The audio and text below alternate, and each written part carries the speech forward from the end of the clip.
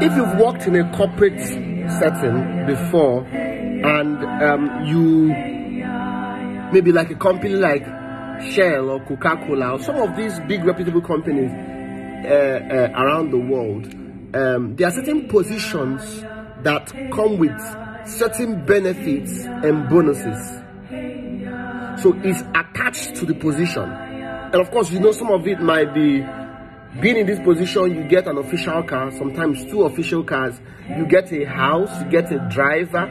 Uh, in some cases, these benefits also sort out your children's school fees. Anything that will distract you from focusing on the work you are employed to do, this company takes it. And sometimes they even give you some rest and and maybe a year or, or, or, twice a year you get to travel out on vacation with your family to cool your head because of the value you add to the company and because of how delicate and sensitive the work you're doing for the company is. Most of us know about this. So my friends the plan and purpose of god for your life is actually to work in his vineyard. Now what do you think happens? And most people do this when you lose that job, do you still expect the benefits? And that is what some of us do. We don't want to work in the vineyard of God, but we want the benefit that comes with the vineyard. Now, what you need to understand, and please, my prayer and hope is that what I'm about to share with you today will not just, you know, live in your spirit. Because you see, what we have done, some of us have done with the Word of God, with the Bible, is we, we have so much heard certain verses growing up Bible Sunday school, Bible school. We have heard it so much that we have watered the, the, the power and how potent it is. Because uh, is it not just John 3.16 for God so loved the world. Uh, is it not just it, it, that it, it has become so easy for you that you think that there is no longer power in it. And even though you're a Christian you're a churchgoer, you still struggle. I'm about to show you why. Because until you understand these truths, there are certain levels in life, even as a tongue talking Christian, you will not accelerate to.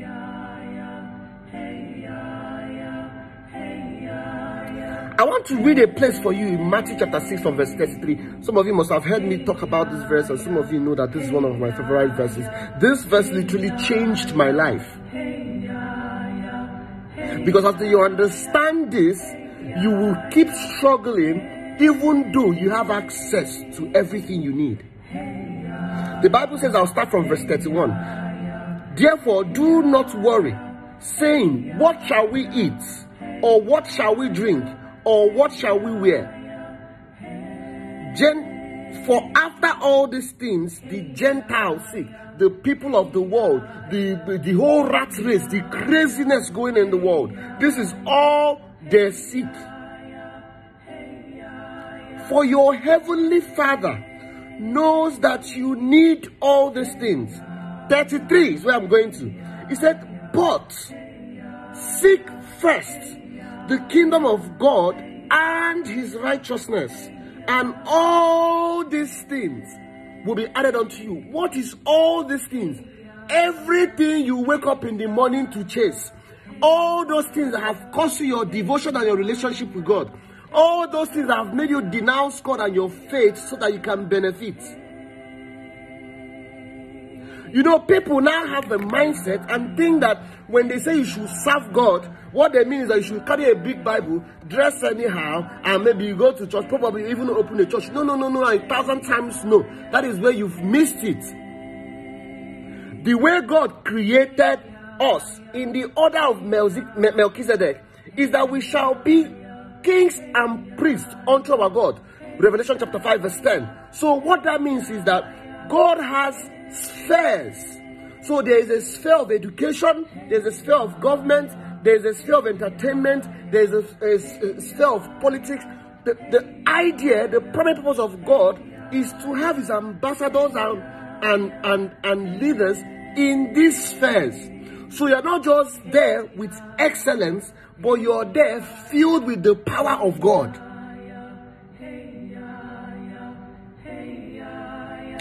So, if you understand this, what I'm about to share with you today, there are certain things you will not you will not struggle with. Because you see, what we do is that we seek every other thing but the kingdom. But here is the catch.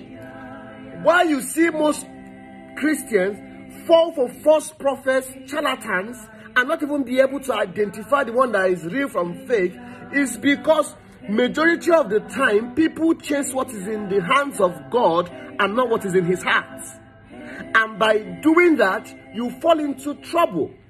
When I started making this prayer, and when I realized the righteousness, I'm about to explain to you what this means. So, seeking first the kingdom is not just enough, which is reconciling men back to God through the platform, but his righteousness. And what that means is you do not just serve God because of what you get from God, you serve God because you want to know him. I will tell you this story. Many years ago, I've been in the entertainment industry for more than 23 years. Even though I was making films and I was making money, I was still broke. I can't tell how money will come into my hand and leave, and I'm back to square one.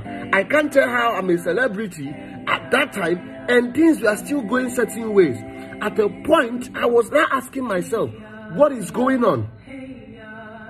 Until it was laid in my spirit that God, hmm, God only makes provision for the vision He has given you.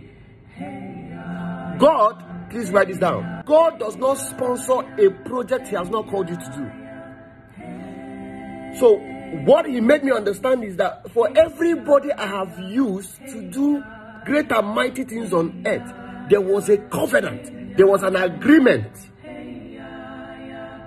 And one of many agreements I literally signed with God was no matter where you take me, no matter the level of fame, no matter the level of prosperity and wealth you take me, I will always use my platform and my resources to serve you.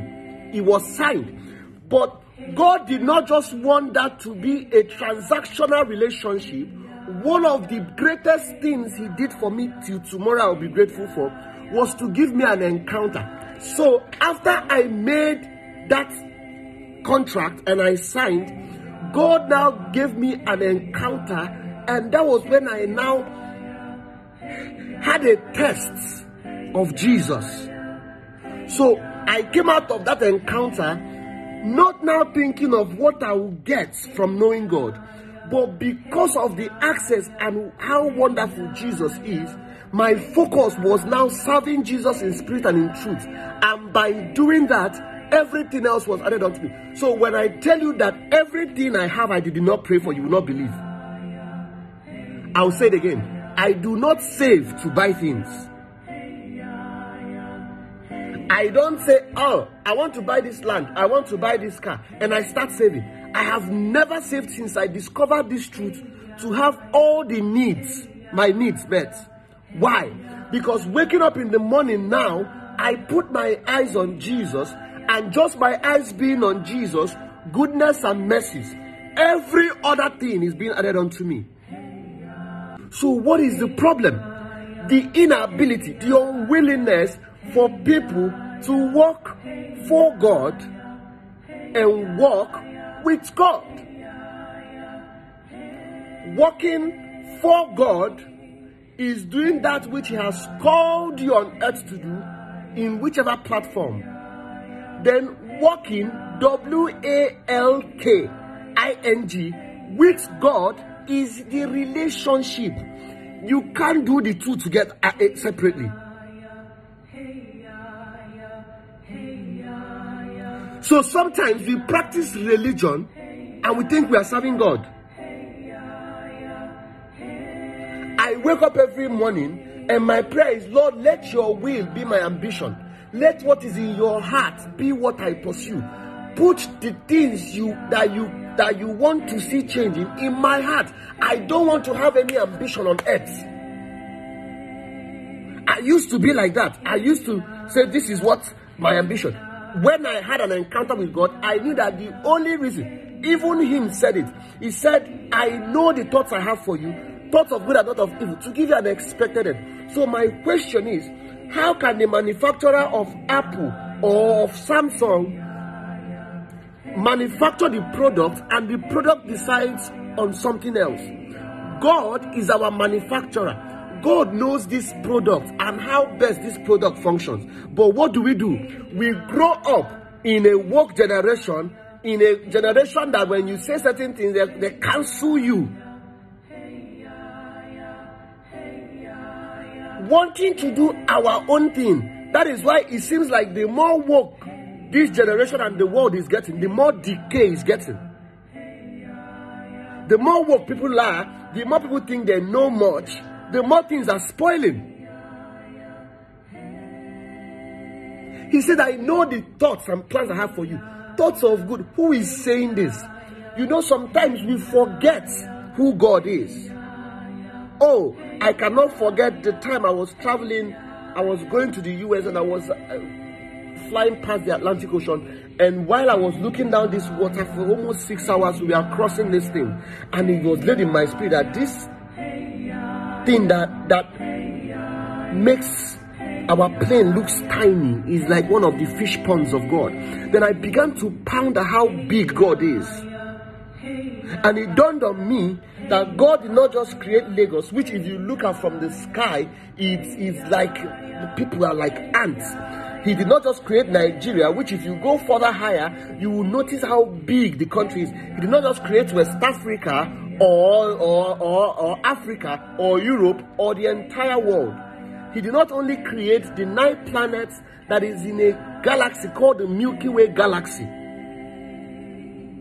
He created 200 to 500 billion other galaxies among the one we live in.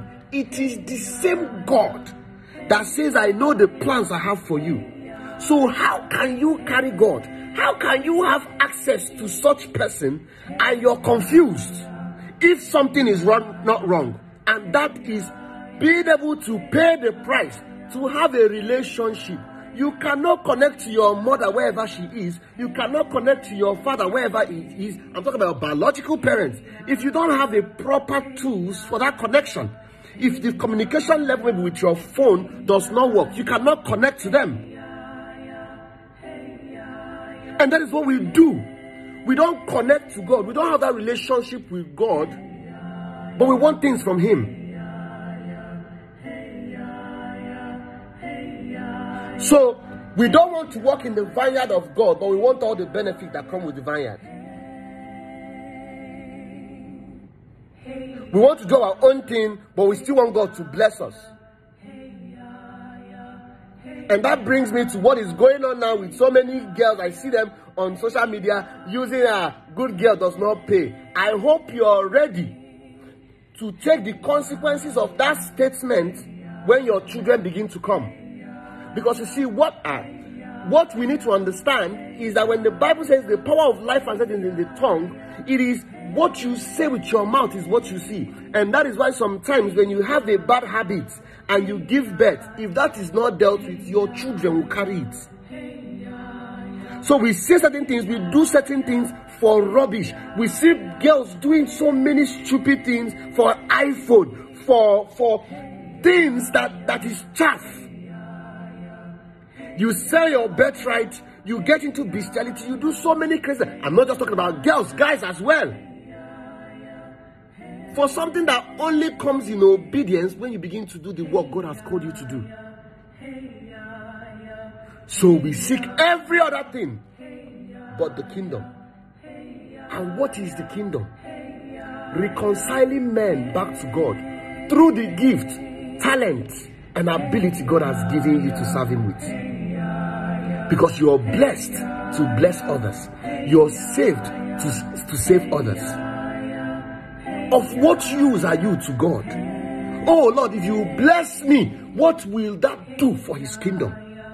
And my prayer this evening, my prayer is that you grasp this truth. And I pray that the Holy Spirit will help us be better, do better, walk in His truth, and have the life God has planned for us to have on earth.